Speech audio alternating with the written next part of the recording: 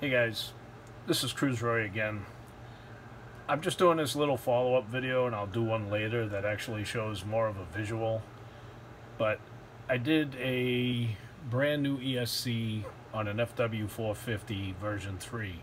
It's the version 4 ESC. Here's a picture of the V3 that we all known to come and love. And um, what I want to talk about is while I was rebuilding it, I put it back together. It was a long night, kind of tired. And when I booted up the ESC, the bird started going nuts.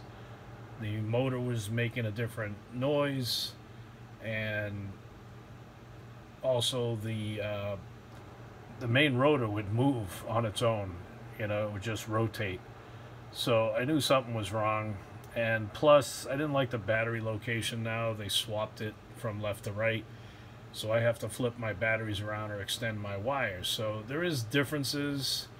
Um, I didn't originally buy it stock, so I bought it from someone that crashed it, put it back together, and I put a 2.5 ESC in there, and accordingly I set up my batteries to plug in the way that one was designed. So this one is like backwards, but not backwards in polarity, but just the way what side the XT360 plug is on.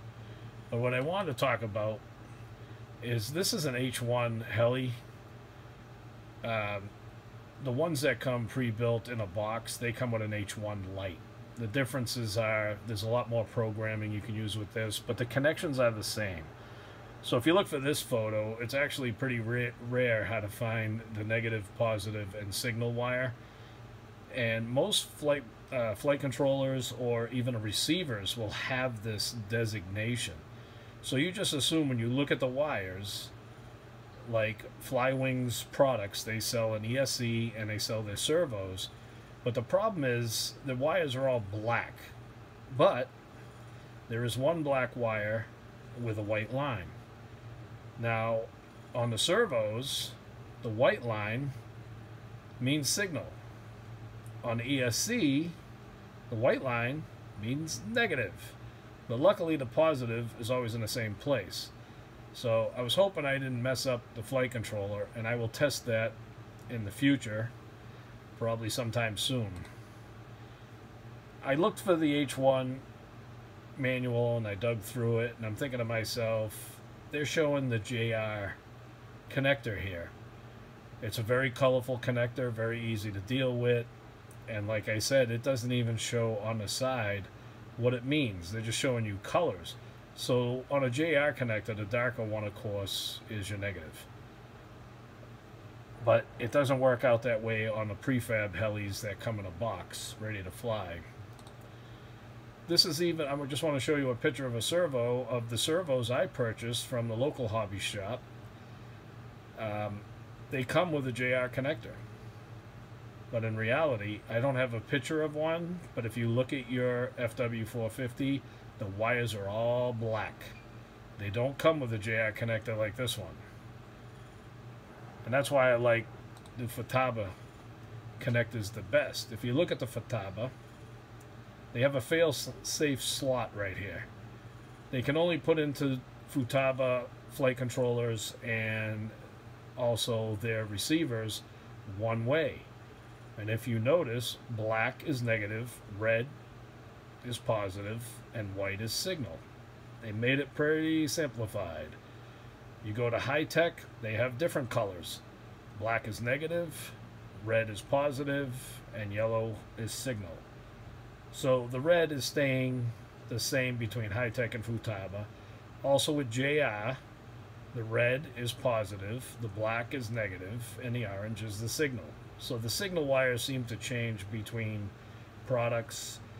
The one that's had is the Airtronics.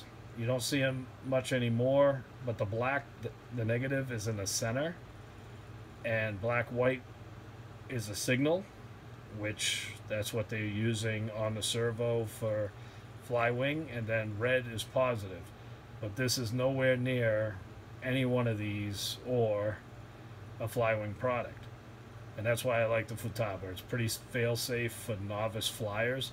And this is what we're seeing with the Flywing products. They're mostly novice that thought they would never ever be able to try to fly a helicopter, but now they can.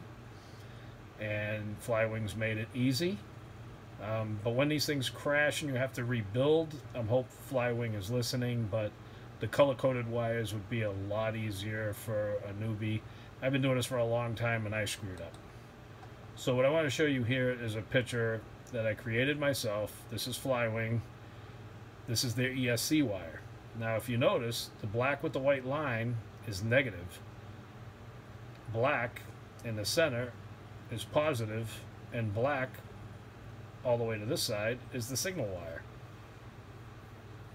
So on the ESC wire, I thought the white line meant signal because on this next photo you'll see, this is the servo wires, they're using the white line for the signal.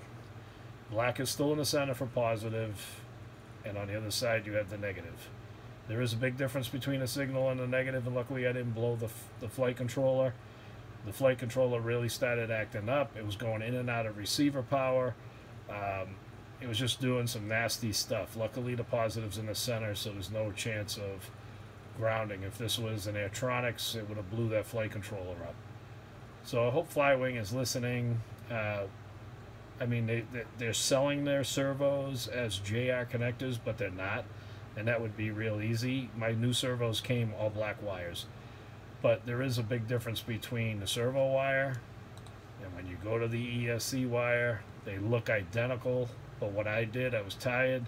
I just followed along with the servo wires because they were already in. And I knew that the blank single wire was the tail which is the signal. So I should have did the same with the secondary three wire and just put the signal to the bottom and the negative would have been up top and it would have been fine.